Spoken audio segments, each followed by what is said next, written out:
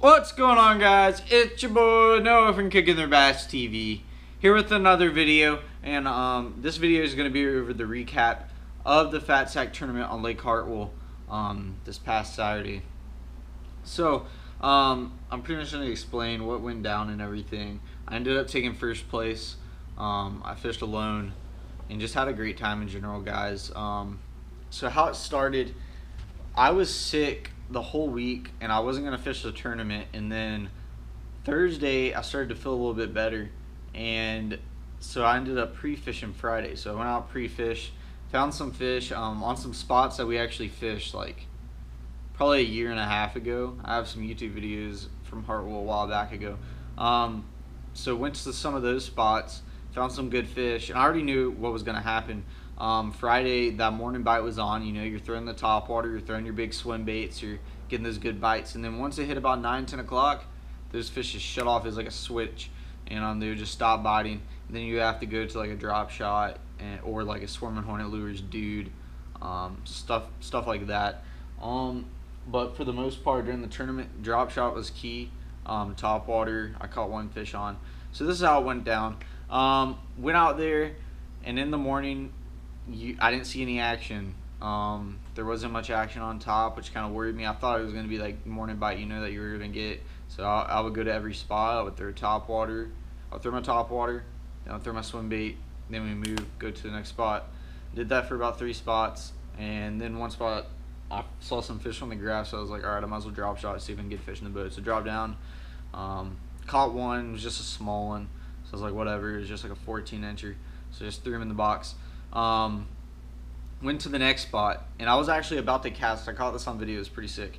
I was about to. I threw down a trolling motor. Was about to cast, and then a fish just like barely to my right. I just saw out of the corner of my eye.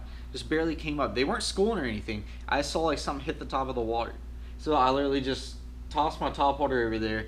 Worked it. It was a little. It was a chrome spook. Worked it a couple times, and the fish just came up. Poof. Ate it. Um, got that fish in the boat. That was about a three pound largemouth. That was the only largemouth of the tournament that I got. That was a keeper. Um, and then pretty much the rest of the day I just went out drop shot. And, and when I mean the wind was bad, especially by the dam, the wind was bad. We went all the way to the dam. Um, the wind was bad, guys. It was around 20 miles an hour. Um, and when you're trying to drop shot in 20 mile, not 20 mile per hour winds, I can tell you that is hard.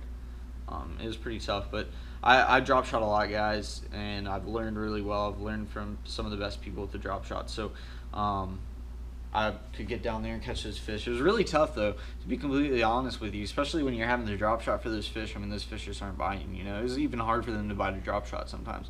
But I ended up getting a um, solid limit. I would say of about 13, maybe 14 pounds by 8:30.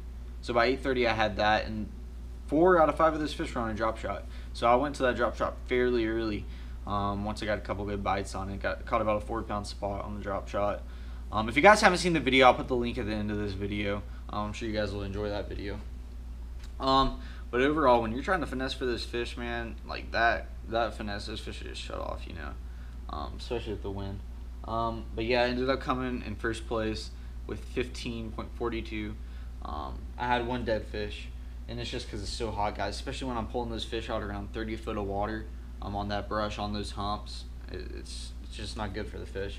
Um, so here's my drop shot rig that I was using. Got that little tiny hook right there. It's um, kind of like one of those little octopus hooks. I can't think of the name of it. Um, I just pretty much have like a morning dawn worm on or a hologram dawn. Um, I believe this is Martin's Magic. It's pretty much a pink worm in general. They're just eating that pink up that day. Um, and just a regular circle drop shot weight, not the straight straight ones. Um, it's just about a foot from the weight right there. Um, and what I have going on is I have braid right here, and this is 20 pound braid. Um, 20 pound to 10 pound fluorocarbon, and that's a uni to uni knot. I don't know if you guys can see right there. So I got a uni to uni knot connecting braid to fluorocarbon, and it's very important that you match up the line right.